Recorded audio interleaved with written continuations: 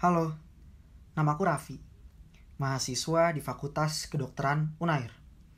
Oh iya, aku angkatan 2017. Jadi gini ceritanya.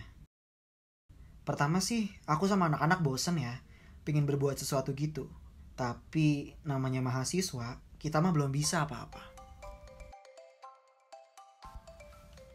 Terus muncul deh ide, iseng-iseng jualan nasi di sebelah kampus. Namanya nasi pokro. Tapi beres sih kelasnya kok.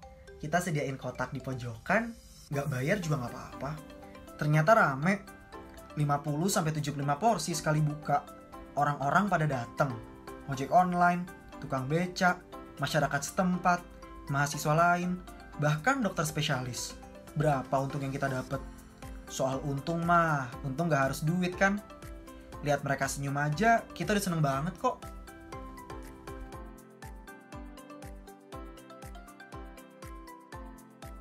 Selain nasi pokro, kita juga pingin ketemu anak-anak kecil, khususnya anak di panti asuhan. Kita bikin deh program ke anak-anak kecil, namanya Titip Amal. Makan bareng, main bareng, edukasi kesehatan ke anak-anak, seru deh pokoknya.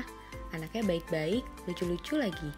Semoga bisa jadi orang yang bermanfaat ya, Dek. Memang sih, kegiatan kita terhenti karena pandemi.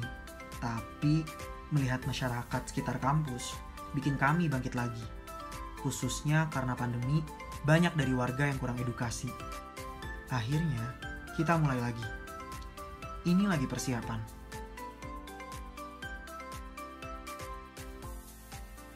Ke warung, ke ganggang, bagi-bagi sembako, bagi masker, edukasi, bahkan ngobrol santai.